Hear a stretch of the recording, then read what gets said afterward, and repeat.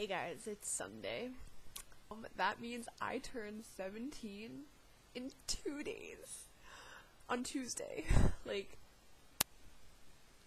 I'm really stoked. Like, I shouldn't be stoked because nothing is gonna happen. Like, I should be getting my license on Tuesday.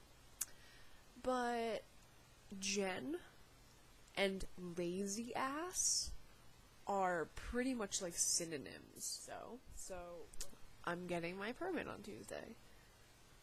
But the good thing is that because I'm 17 and getting my permit, I don't have to do six hours of driving.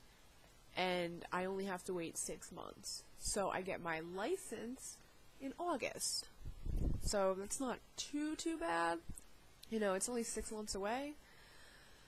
But it just sucks because I really would have liked a car for the summer. But I guess the end of summer will have to do. Another thing is, I always do my videos like in one sitting because I have a webcam. But that's gonna change come Tuesday because my dad is getting me a camera. Like, one that actually records sound, unlike the camera that I have now.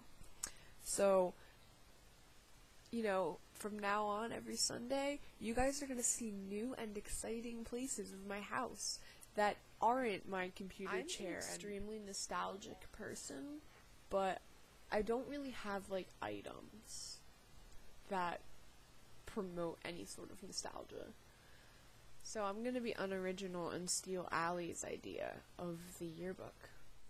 Except, of course, that you and Maria, and probably Catherine too, though I'm not 100% sure, went to Intermediate West. And I went to Intermediate East, which by default makes me better than you. And honestly, my cover is better than both of your covers combined. Like, come on. Pretty kick ass, right? Jenn, I heart you. You rock my socks. Love, Brienne. I honestly don't remember ever even knowing anybody named Brienne. Connor Allegre. Dude. Dude, right here. That boy. I was in love with him in seventh grade. And I completely forgot he existed until right now. There. That right there, folks, is seventh grade Jenn.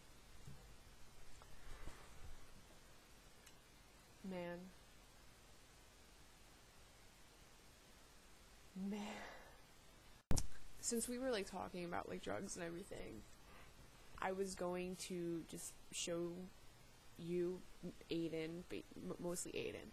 I was going to show you like my piece. So I get my purse, right?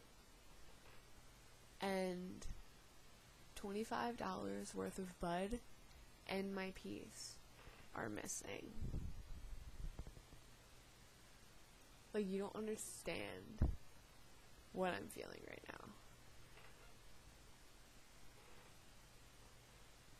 Like my mom must have went through my purse and found it. so happy fucking birthday to me.